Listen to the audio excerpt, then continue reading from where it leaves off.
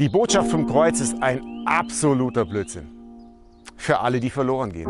Wir aber, die wir gerettet werden, erfahren es als totale Kraft Gottes. Am Kreuz sehen wir, Gott ist anders. In einer Zeit, in der viele um gute Darstellung und Posen bemüht sind, spricht das Kreuz eine andere Sprache.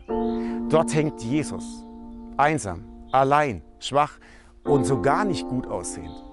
Dort hängt ein Verlierer, der sein Leben verliert für dich. Jesus nimmt das Kreuz auf sich, weil er um Liebe wirbt.